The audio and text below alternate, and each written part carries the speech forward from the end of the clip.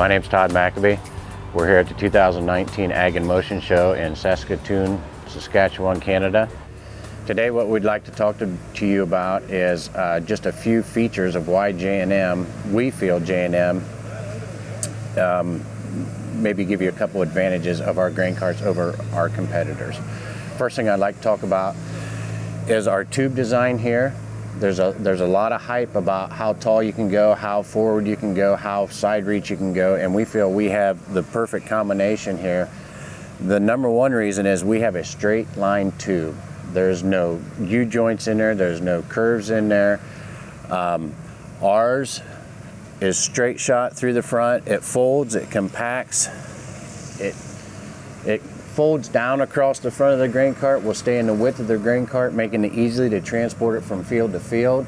Some of our competitors will shoot out the side. They may be sticking out the back three, four feet. We find that sometimes when you're parking it in the barn or moving it from field to field, that could uh, cause areas for, uh, you know, to damage the tube in that way. Um, this design here, our spout comes straight down. A lot of guys like that feature when the tube shoots straight down. You can shoot your seed. If you do need to feather it, there is a cylinder up there that you can feather the grain in the truck, sort of spread it out. Um, with this feature here too, you can get an effective side reach. You're roughly 13 feet wide. You're roughly 13 feet tall as well. So it's a, it's a good feature. It's a nice, straight, strong uh, feature for us here. The next thing I'd like to talk about is our drive system. Ours, one of the best things about the J&M grain carts is they're just simple. There's no belts, chains, spoolies, sprockets to go wrong on them. Um, ours is a simple direct drive. We have a gearbox located in the rear of the cart.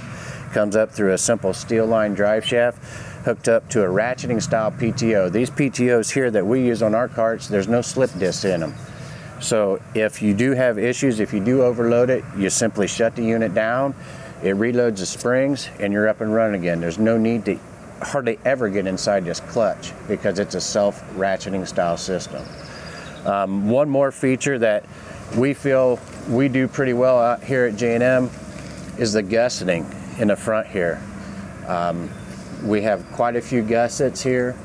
We seem to build things big and heavy typically at J&M, when you have issues, structural issues, uh, typically we ask, what did you hit? Or what happened? Or what bridge did you fall through?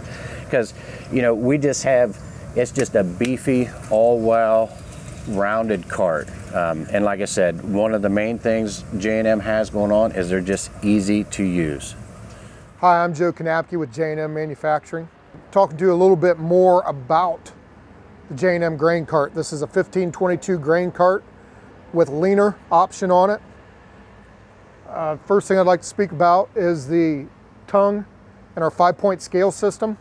This cart is equipped with an iFarm scale system, which allows you to use your uh, use your iPhone or your Droid phone or an iPad and bring up an app and it works as your scale head and multiple people can use it. It runs off of Bluetooth, anybody within 400 feet, and can also be used on multiple carts. How that ties into our scale system, we run a five point scale system, which gives you accuracy within plus or minus 1 of your weight. For a moving scale system, it's very good. We've had uh, numerous people tell me that they are being able to use it in highly, almost scale for weight type options. But with our system and how we have our axles, we have the best tongue weight in the business. We have 4,200 pounds on this 1,500 bushel cart. That's loaded tongue weight. We have a very balanced grain cart and a lot of our customers will remark on how balanced it is. It doesn't give you the buck. It doesn't give you the rock and roll in the cab seat that you have with some of the other of our competitors. I'm going to go back a little further now and talk about our hubs and spindles. This unit here is equipped with a 20 bolt, 20 bolt hub, which is a up, up option for these carts. You can also get the 10 bolt hub. We run a six inch spindle. Our competitors, four and a half inch spindle. That's a big upgrade with it. Um, this model right here, 1522, can only be bought with 1250 rubber on it or track system or the walking tandem. For the, our area up here, the 1250s and the track systems are the most popular to what's been sold with it. As you can get back here as we go to the back of the cart and kind of look a little bit. You can look in in between the wheel and the cart and see the six inch spindle there being held in. And then another thing that we have is the truss axle.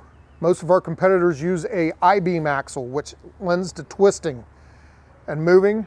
The truss system is the same as a bridge, bridge trusses. So we use a truss axle underneath our grain carts. Most of our competitors do not, and that gives us, we feel, a lot more strength. I will bring you around a little bit more and show you what I was talking about, the leaner or the wide top. We do these on certain series of our grain carts. It sticks out an extra two feet, which gets you closer to the combine. When you have the very wide 40, 45 foot, even 35 foot heads, if they don't have the extendable auger on the combine, this gets you two feet closer.